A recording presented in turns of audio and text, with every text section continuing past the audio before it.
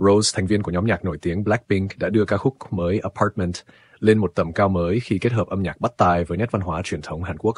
Kết hợp cùng ngôi sao quốc tế Bruno Mars, Apartment trở thành cú hích lớn trên mạng xã hội, không chỉ nhờ giai điệu bắt tai mà còn nhờ thử thách thú vị Apartment Game, một trò chơi uống rượu phổ biến của giới trẻ Hàn Quốc.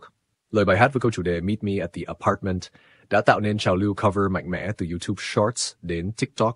Người hâm mộ hào hứng tái hiện các động tác vũ đạo, tham gia thử thách Apartment Game và lan tỏa tình yêu dành cho ca khúc. Trong MV,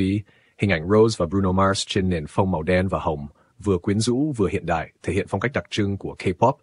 xen lẫn chất Âu Mỹ tạo nên một sức hút mạnh mẽ trên toàn cầu. Sự kết hợp giữa nhạc điệu hấp dẫn và văn hóa đặc trưng đã đưa Apartment của Rose nhanh chóng đạt hàng triệu lượt nghe trên các nền tảng nhạc số như Spotify và Apple Music. Thậm chí, ca khúc còn vươn lên dẫn đầu bảng xếp hạng nhờ khả năng tận dụng sức mạnh của mạng xã hội.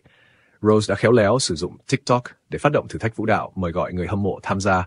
và góp phần tạo nên làn sóng lan tỏa không giới hạn. Nhờ sự thấu hiểu và bắt kịp xu hướng toàn cầu, Rose đã chứng minh bản lĩnh của mình,